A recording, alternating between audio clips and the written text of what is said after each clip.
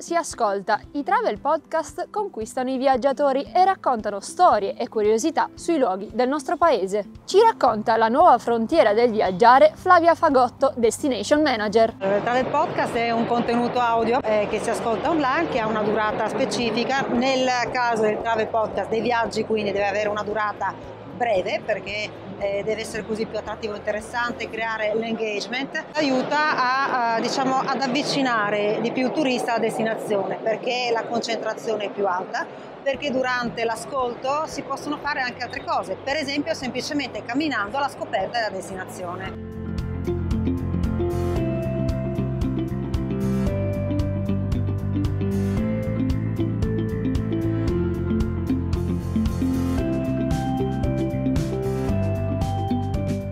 Modo diverso di esplorare una audioguida da portare sempre con sé. Tramite un dispositivo che tu puoi avere in mano, tranquillamente averlo scaricato prima, eh, puoi appunto fruire di, del territorio, delle sue ricchezze attraverso diciamo, una narrazione, uno storytelling diverso. Ci lascia liberi nel poter eh, poi mh, mm, girare il territorio e approfondire con i nostri tempi e andando e ci permette di sceglierci il nostro percorso e eh, il nostro modo di esplorare un territorio.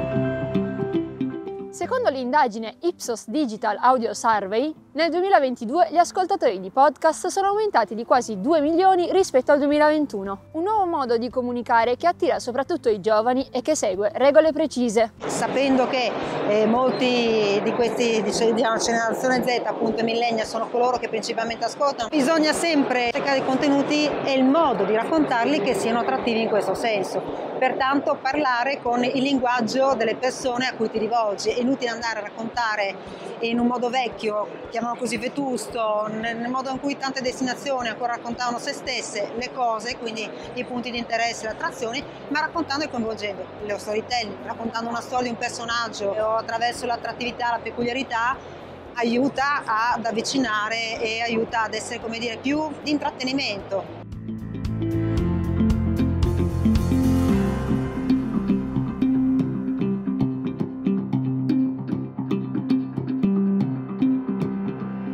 cerchiamo di fare quello che viene chiamato in termini anche tecnico edutainment, educazione e trattenimento insieme, perché chi si avvicina a un podcast vuole ascoltare, vuole informarsi anche, però bisogna essere anche leggeri, parliamo di viaggi, parliamo di turismo, bisogna fare delle cose e avvicinarsi in maniera divertente. C'è un ritorno anche alla semplicità in generale, quindi l'audio ti consente proprio di togliere tutto quello che era complesso e di ritornare a qualcosa di più semplice.